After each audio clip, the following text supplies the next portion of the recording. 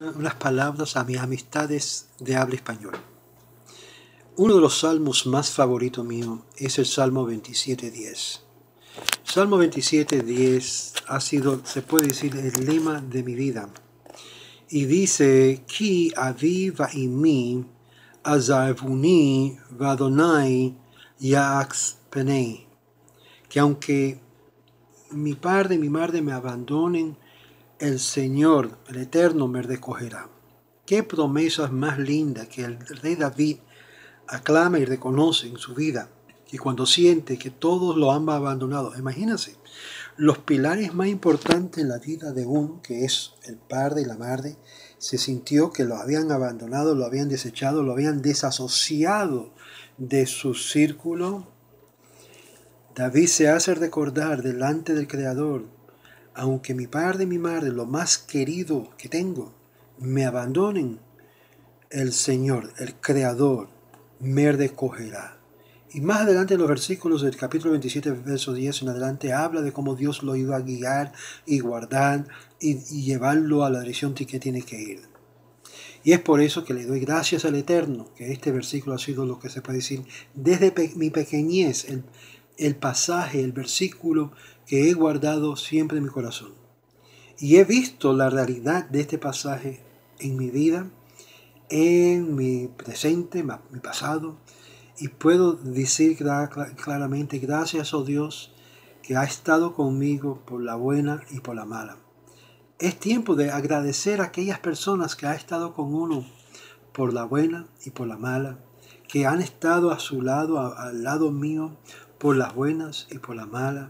Y es por eso el agradecimiento principal que tengo es al mi Creador, a Dios, como él dijo el rey David. Y gracias al Eterno que David pasó por esta experiencia y que lo escribió en un canto, eh, Salmo 27.10 en particular. Porque si no fuera por esto, muchas personas tuviesen un estado tan profundo de depresión sintiéndose totalmente desasociado y desconectado, lleno de amargura y raíz de rencor, que todo lo que hace es destruir la vida y la existencia de una persona. Pero gracias a Dios, que Dios, en medio de los abandonos de seres queridos, amistades, nunca, nunca nos abandona. Y esta es la palabra que nos viene a decirnos Usted, amigo, amiga, no está solo o sola. Si entiende lo que dice aquí el Salmo 27.10, entenderás un gran principio de, la, de las escrituras hebreas, que Dios está tan cerca de ti, de tu corazón y tu boca para, para llamar su nombre. Dios no te abandona. Quizás tu mamá, tu, tu papá, tus hermanos, tus hermanas, quizás tus amistades se han desasociado o se han apartado de ti. Pero ten esto seguro. Dios dice, no, yo te voy a recoger. Yo, tú eres mío, mía. Y yo voy a estar contigo por las buenas y por las malas.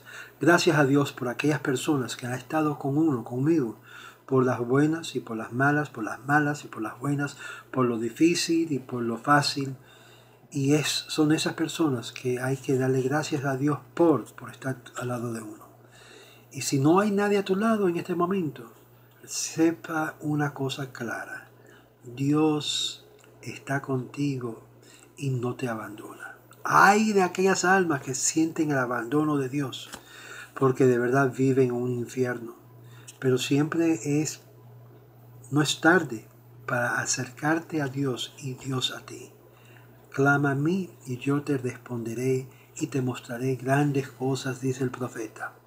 Simplemente abre tu boca, abre tu corazón y dile a Dios, Dios te necesito en mi vida. Y Dios es fiel, Dios es leal a su palabra y se te acercará a ti y tú te acercarás a Él y cambiará tu vida de una forma increíble. Shabbat Shalom a todos ustedes. ¿Recuerdas el Salmo 27.10? Esto es mi lema, esto ha sido mi lema desde, desde pequeño hasta el día de hoy. Y con la ayuda del Eterno hasta que llego a reunirme de nuevo con ese Dios que dice que me recogerá. Estoy muy contento. Esa es la paz, Ese es lo que es, lo que emite dentro de mi corazón, mis ojos, aunque todos te pueden desasociar y te pueden negar, Dios siempre está a tu lado. Shalom, shalom. Y gracias a ti estás a mi lado.